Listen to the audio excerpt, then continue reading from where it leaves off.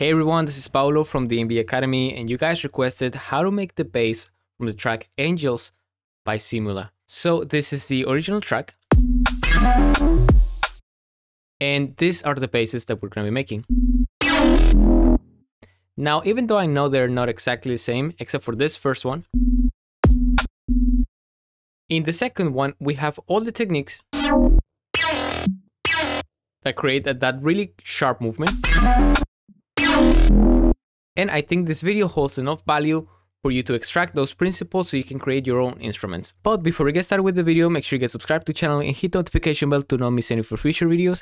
And if you want to support the channel, consider grabbing one of our products at dnbacademy.com. We have crazy preset packs. We have producer bundles made by pro artists like Icicle, Current Value, Abis, Mastec, and many more showing you how to make tracks from start to finish with all project files, presets, samples, etc. included. And speaking about samples and presets, if you want the ones from this video, consider joining Preset Pass, the link is also in the description. So, with all that being said, let's get into the video.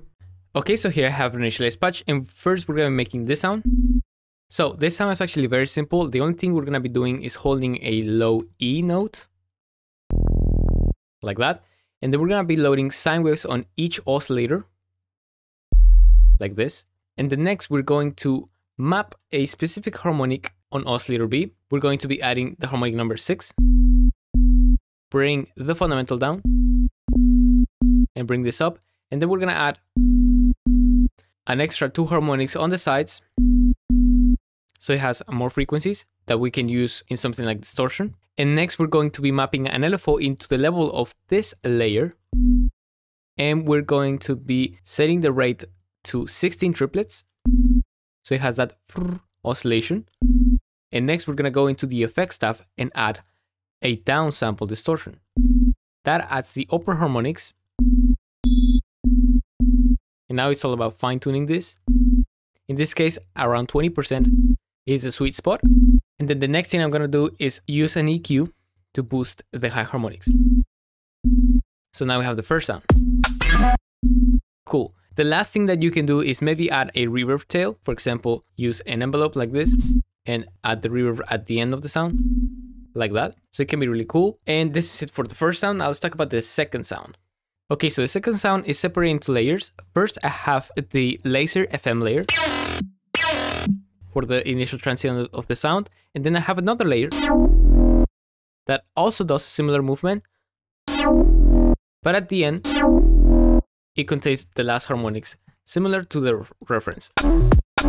So let's take a look at how to build both layers. First, let's start with this one, because both together create that really sharp movement, but this is the harsher one. So let's create this layer. Okay, so here I have an initialized patch, and the principle behind this type of movement is to have two saw waves that FM each other, like this, and then boost the second saw wave three octaves up and use this saw wave as a modulator for FM. So let's turn on FM from B.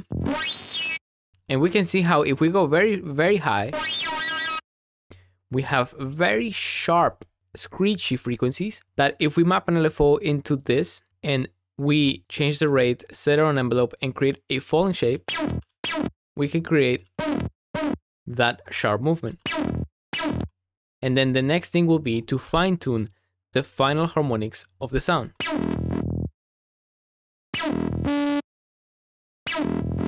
So you can create sort of like a melody, which is really, really cool. All right, so once we have this movement, we can just use this as a layer, or we can experiment with it a little bit. For example, we can change all of this to sine waves and map different harmonics here which can work. But you will need to keep experimenting with the octaves. In this case, we're gonna keep it simple and only use the saw waves, which gives us really cool results. And as you can see, you can spend so much time fine tuning this modulation that I think it's more useful to just share the principle that creates the sound instead of giving you a specific shape that you have to recreate. Now you can experiment with this and create your own sound. So for post-processing or for effects inside of Serum, the only thing that I use it's some hyperdimension multiband compression to make this sound even sharper, and then a filter that is a low pass and that I can automate its cutoff and its resonance to go up at the end of the sound. Something like this. So as you can see,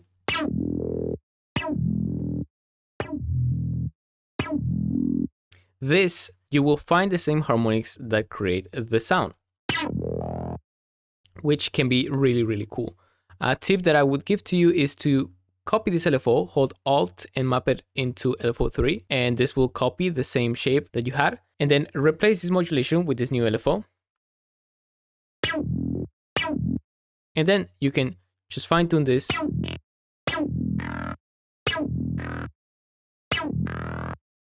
Until it gives you the sound that you want.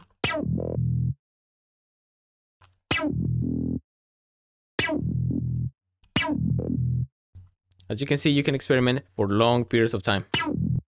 Cool. In this case, I'm just going to keep it simple and just do a falling shape like this and bring the resonance down. That's it. Next, we're just gonna add some chorus and reverb. And then add an EQ at the end of this chain. We can cut the sub and reduce some of the very harsh higher end. Or we can increase it. It depends on what your mix needs. In this case, I'm gonna cut it a little bit. And now for the next layer, the only thing we're gonna do is to copy the same patch, but instead of using saw waves, we're gonna use sine waves, a very specific sine wave that can be found in the digital area of the wavetables under the harmonic series wavetable. And we're gonna use frame number seven. And on the effects, we're just gonna use a soft clipping instead of tube distortion. And the filter actually gets modulated by LFO number one here. And now to get a different tone here, we modulate the semitone range. As we can see right here, I boost it up. So this it's one more way of adding an extra layer of movement in the harmonics of the sound. And these are the principles that create sounds like this. So again, I know it's not exactly the same sound, but I think this video contains all the techniques that you need to get started on sounds like this. So I wish you luck on your sound design. If you want to support the DnB Academy, don't forget to get subscribed to the channel and hit the notification bell to not miss any for future videos. And if you want to support the channel, consider grabbing one of our products at dnbacademy.com. We have crazy preset packs we have producer bundles made by pro artists like Icicle, Current Value, Abis, Mastic, and many more, showing you how to make tracks from start to finish with all project files, presets, samples, etc. included. And speaking about samples and presets, if you want the ones from this video, consider joining Preset Pass. The link is also in the description. So thank you so much for watching, hope you have a nice day, and I'll see you in the next video. Bye bye!